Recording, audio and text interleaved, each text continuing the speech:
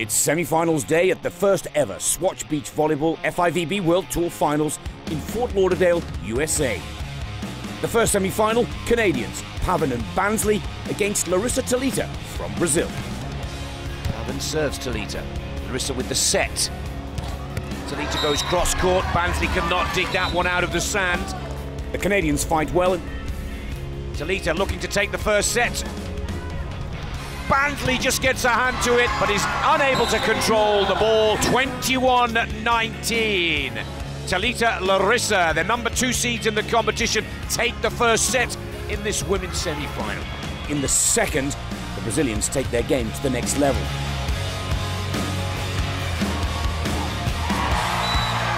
Larissa Talita win in 39 minutes and in two sets, 21-19 and 21-12.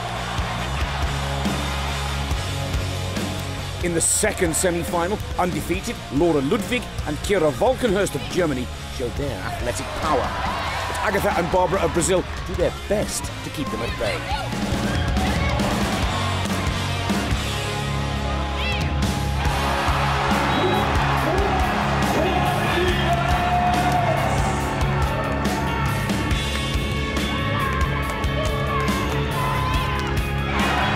Germans defeat the Brazilian world champions in three sets 21 15, 20 22, and 15 13.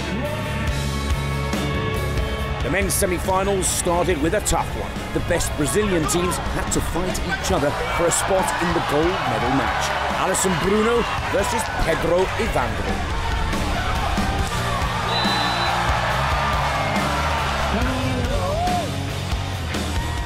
Set point for Alisson and Bruno Schmidt.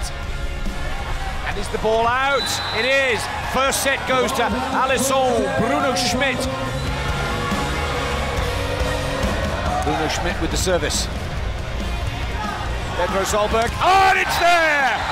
The inter-country rivalry ends with Bruno and Alisson as winners in two sets, 21 to 17 and 23-21 second men's semi-final in front of thousands of fans pitted the USA's local heroes Phil Dalhausser and Nick Lucena versus Dutchman Alexander Brouwer and Robert Meeuwsen.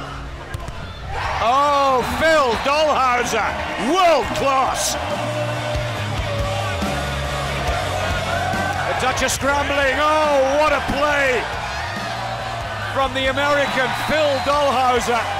Wraps up the first set with a sensational serve float serve. Brouwer sets it up for Meeuwsen. Oh! The second set goes to Holland 21 to 19. One set all. Just need the side out, Team USA.